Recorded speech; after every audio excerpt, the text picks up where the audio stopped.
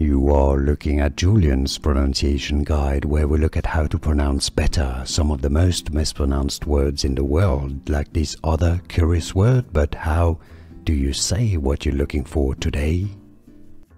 An interesting word. Let's break it down. Lamed. Lamed is how to pronounce it. It's easy once you know lamed.